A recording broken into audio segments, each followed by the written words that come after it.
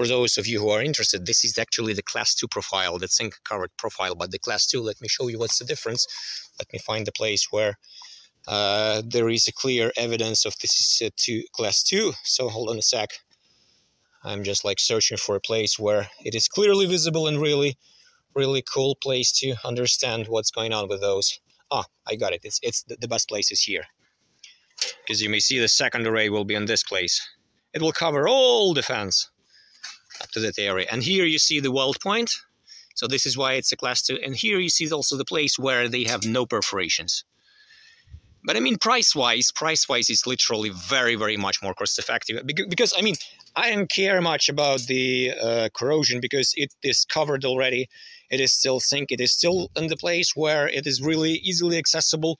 No issues to like change, check. But the price-wise, I mean, it's literally, for me, more than double less than going with the normal profile. So I just decided to go with it because, I mean, every, every time once you do this kind of thing, weld again, right?